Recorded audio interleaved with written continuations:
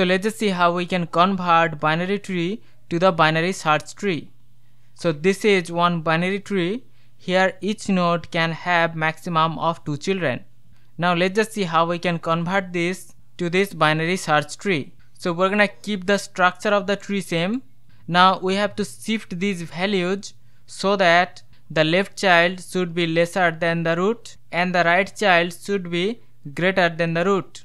So let's just see the step by step process. So first of all we have to traverse this tree. So we have to perform the in order traversal. So we're gonna start the traversal. So whenever we reach below one node that will be the in order traversal. So first of all we have 4 then we have 2 then we are below 5 then we are below 1 and then we are below 3 so this is our in order traversal.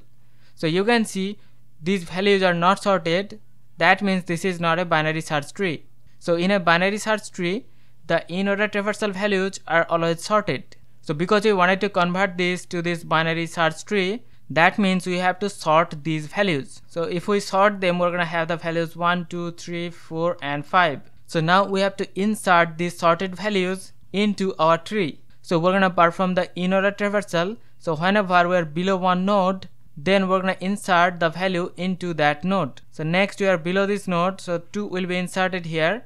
Next 3 will be inserted here.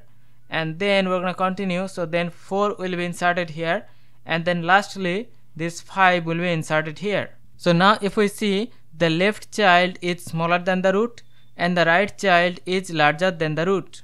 Similarly here also the left child is smaller than the root and the right child is larger than the root so that means we can say that this is one binary search tree so that means we have successfully converted this binary tree into this binary search tree. So we have to follow simple steps. First of all, we have to perform the in-order traversal.